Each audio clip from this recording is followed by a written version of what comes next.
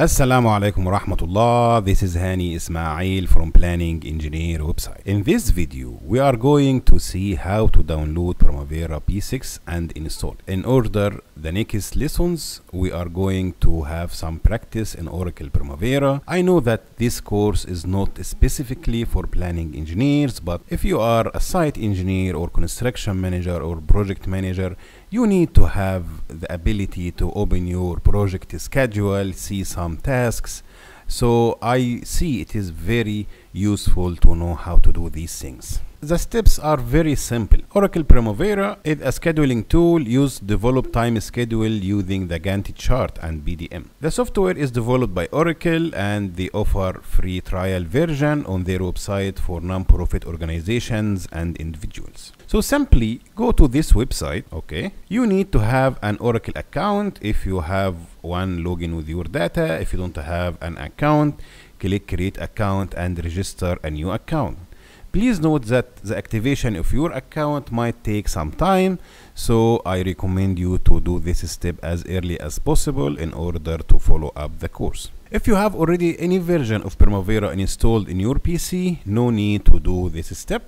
All whatever we will do later on, it will be applicable. There is no big changes between version starting from P6.7 or something, so no big difference. So in order to create a new account, you have to fill your data and then click create account. Your account will be created automatically. Sometimes they took samples in order to review the account creation. So it might take few days, few hours, few seconds, depends. Once you created your account, you log in with your email and password. You will see a search bar to search for the software you would like to download. In our case, we will search the Primavera P6 and click on search you will find the latest version of Primavera, which in this case 23.12. As I mentioned earlier, it doesn't matter if you have 23 or 7. See, there is no big difference. After clicking, the package will be added to your cart. Click on the view items and continue. After clicking on package, it will be added to your cart. Click view item and continue. Read the terms and restrictions carefully. If you agree on the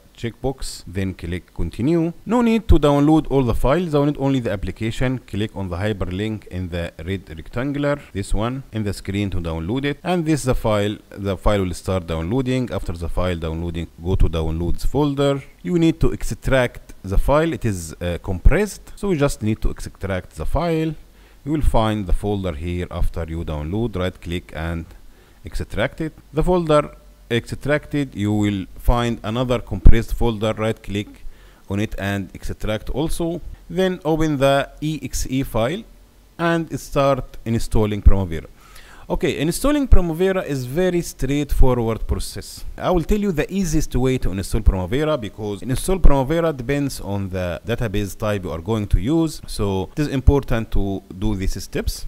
So click typical no need to check advanced only typical then click on install to continue wait for the installation process then you will run database configuration. Don't be scared. It is only the Primavera will create a database to store your project. Now we need to make a connection between the Oracle Primavera P6 and the database. I'll tell you how to do it in a very simple way. So once you click run database configuration, this window will be open. Now we need to add a new connection and this will be done one time only. Later on, no need to repeat these steps. Click on add to create a new database configuration and this is very important to select from here P6 Professional Standalone SQLite because this is the easiest way to have your database. We always use SQLite.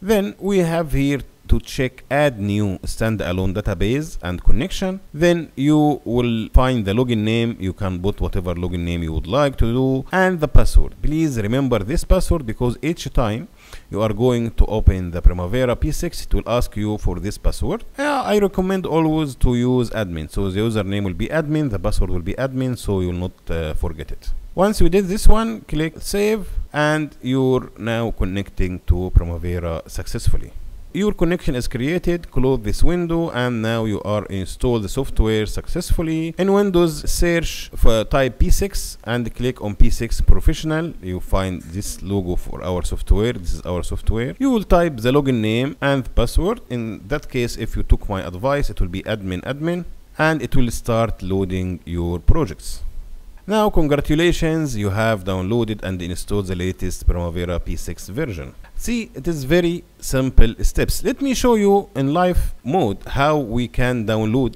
the uh, Primavera. So here we will search for Primavera P6 I'm already logged with my account. I'll click search.